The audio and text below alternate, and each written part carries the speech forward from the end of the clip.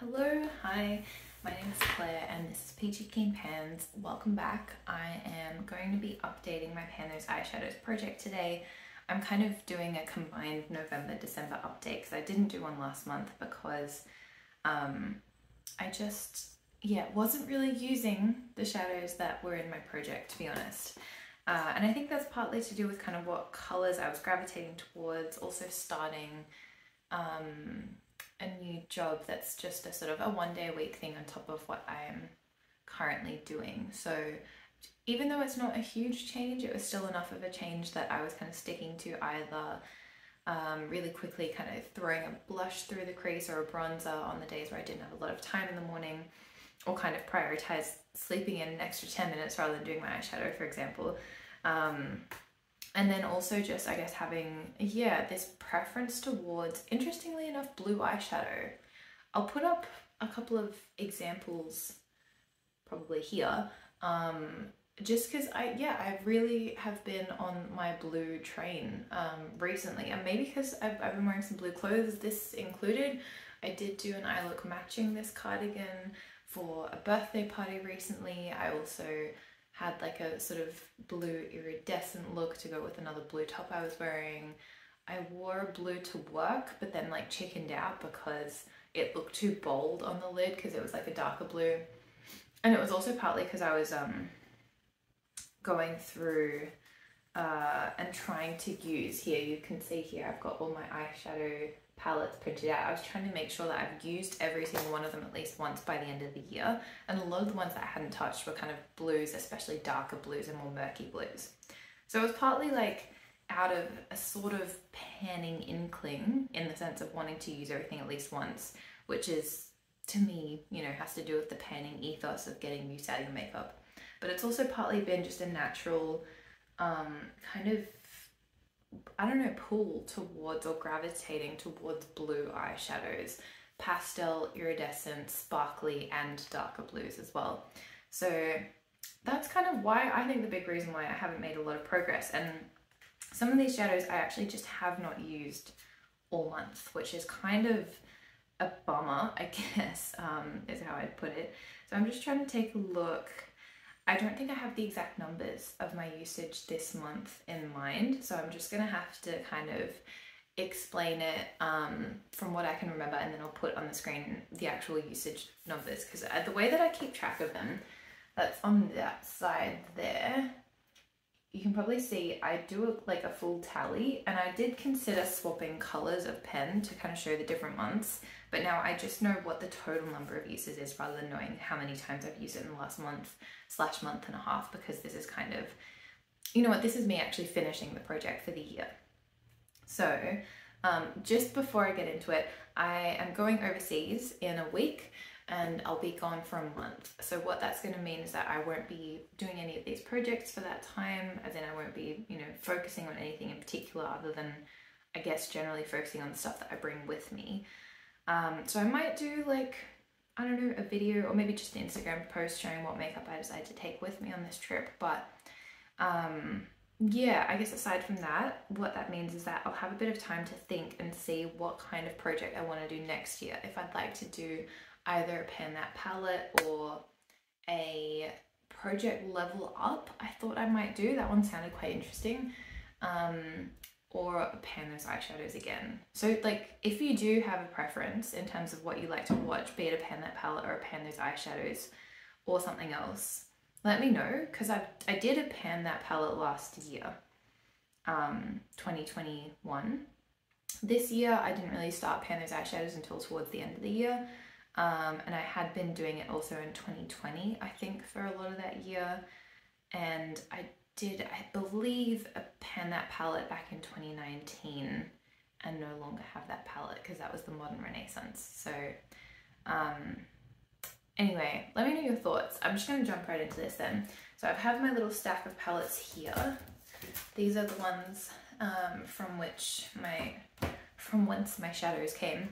But basically, Marc Jacobs on the dance floor is this peach at the end here and I have made no progress in it. I don't really know why I'm showing you to be honest, but I um I believe I didn't use this a single time this month. Maybe I used it once, but I don't think I did even. Um, I just kind of didn't think of it and didn't gravitate towards it being that kind of slightly brighter peach. Maybe once for work. I'll see if I have a photo. If not, yeah, I think it just got skipped over this month. The next one is, um, what is this called? Phantom from Clairo Psyche. That is this shadow.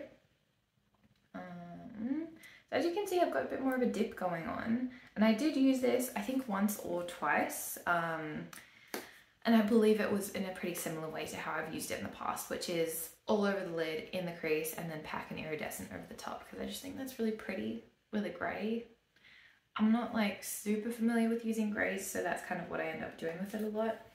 Um, that one I do still want to hit pan in. Like some of these, I think I will, now that I'm finishing this project and probably going to start fresh next year, I imagine they might not end up getting panned at any point soon. But that one I feel I'm getting close, so I feel like I kind of keep at it. Maybe also experiment with greys in that process.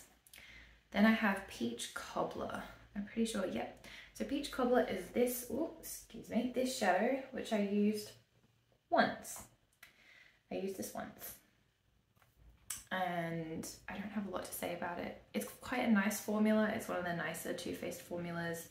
It's the kind of color that um, I think I mentioned I have worked on before in Pan Those Eyeshadows uh, in the form of, I'll just show you, this shade. I think they're very similar. I worked on this shadow before and you can essentially see this baby dip in here. And this is, and I have said it before, the product of 40 uses. 40 uses got me like the hint of a dent. Oh yeah, while I have this out. The next shade is Figgy Pudding, which is this one. There we go. Figgy Pudding, I also believe I either used it once or not at all this month. Again, just in favour of using blues for whatever reason. That kind of wasn't one that got used. Um, and I don't think I will end up panning that one unless I roll it into a project again in future. It really is a, like a very challenging shade. Um, so we'll see what happens with that.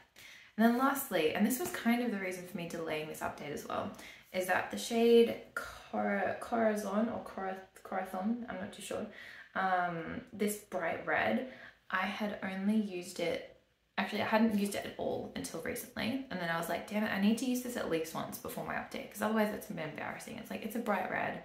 I knew it would be tricky. I had it in my mind and then just like didn't use it. So I used it recently in the look. I'll pop that up here and um, I thought it was really nice. And I actually, I got a few compliments on it, so I appreciate that. If any of you watching, other people who sent a message, thanks.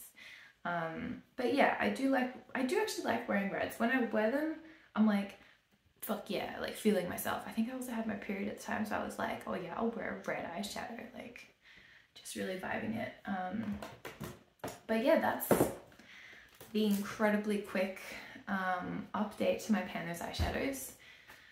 I think I was really vibing this project for a couple months and then this most recent month and a bit, it just kind of hasn't kept up, um, or I haven't kept up. So I think maybe that's partly to do with the actual shadows that I'd chosen and then also, yeah, like prioritizing a little bit of extra sleep rather than eyeshadow time in the morning, meaning that I'll just do, as I said, the kind of bronzer or blush on the eye um, or having days where I just wanted to match my makeup to my clothes and that's just been a very specific colour that I've then gone for which is not a colour included in this project. So I mean even today I'm wearing a very colourful eyeshadow look but none of these colours are my Pan Those eyeshadow colours. Like I could have maybe used Figgy Pudding as the liner for today but I did not um, because this, this is actually uh, first impressions of a new palette. So of the um, P. Louise Unlock Your Creativity palette. So if you do want to see that, I will either have already uploaded it or upload it shortly. Take a look. I'm really happy with how it turned out, to be honest. Um, and yeah, I think this is, I know this is sort of a very anticlimactic end to what was a, I think, fun little project for a bit there. Um, please let me know, should I continue the Pan Those Eyeshadows project, although I will be rolling all new shades because I think in the new year that's just a fun thing to do. Or should I do a Pan That palette? I, I get that's a little hard to ask you guys given that I haven't done an inventory on here, but if you do want to take a look at the eyeshadow palettes I own, it's on Instagram. I did an inventory post really recently. Or is there some other project that you think would be worthwhile? Because I'm honestly, I'm, I'm undecided at the moment and I'm pretty open to these ideas. Like, I could kind of go in any direction. Um, I had such a fun time with the pan That palette last year with the White Peach palette. That was like really satisfying, quite easy as well. So yeah, anyway, hope you're all having a great time. I hope you have a lovely holiday period. I don't think I will be filming another one until after I get back, which will be the end of January. So um, have a great time, stay safe. Hopefully you can be with the people who you enjoy and love. And yeah, all the best until then. Bye.